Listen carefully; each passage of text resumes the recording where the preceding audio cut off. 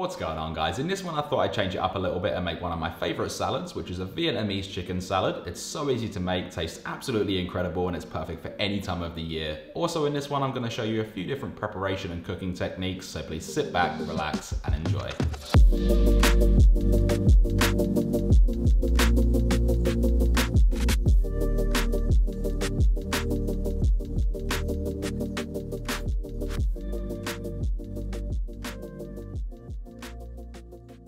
Alright guys, let's start this off with 40 grams or 1.4 ounces of peanuts to which we can give a quick rough chop to break them up a little bit and I suggest not making them too fine otherwise they'll burn in the next step.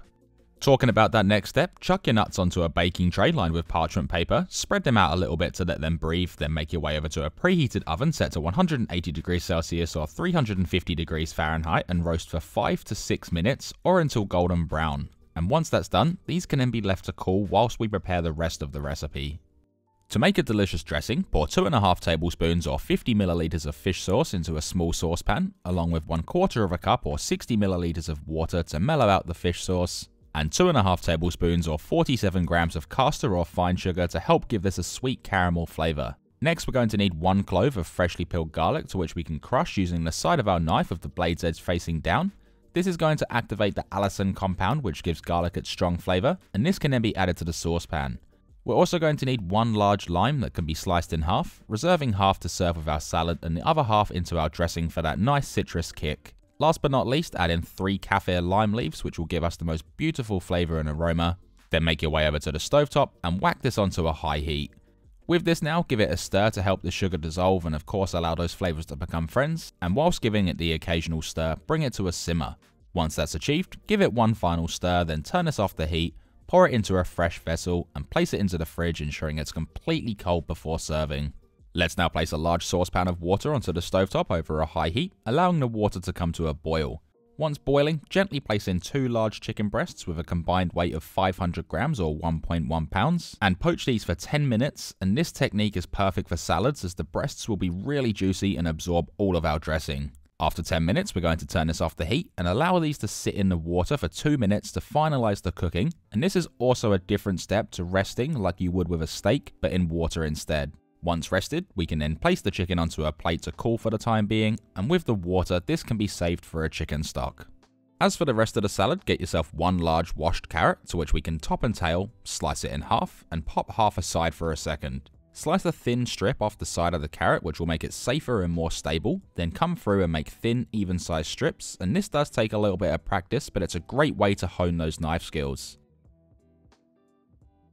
Once that's done, stack up two or three of those strips and thinly slice them into matchstick cuts and the proper terminology for this is julienne, which is cutting food into short thin strips. Next, we're going to need 100 grams or 2.8 ounces of both white and red cabbage, and to make it easier to cut, separate the layers into halves or thirds. With these now, slice them up as thin and consistent as possible, and the terminology for this cut is chiffonade, which is the preparation of a shredded or very thinly sliced leaf vegetable used as a garnish, salad, or soup. For the last bit of veg prep, here is one white onion, which can be substituted for red onion, and to this, slice off the tip and root, slice it in half, and then peel off the skin, saving the scraps for a stock. With the onion set in the half moon position, slice it as thinly as you can to create wafer thin strips, and towards the end, lay it flat and continue, which will prevent it from wobbling and someone cutting themselves. And also, don't worry about speed, that comes after precision.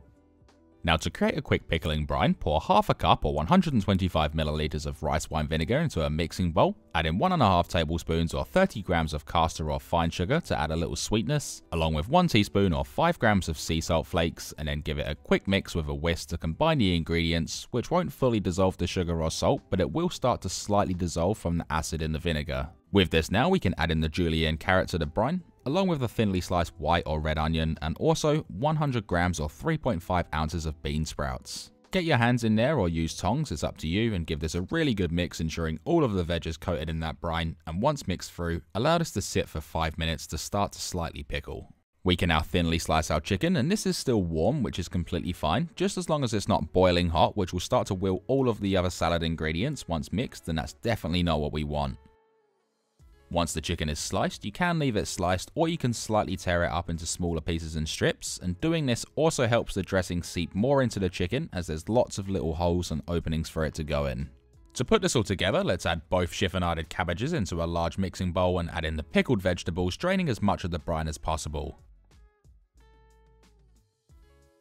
Next add in 15 grams or 0.5 ounces of both roughly picked coriander or cilantro as well as torn mint leaves.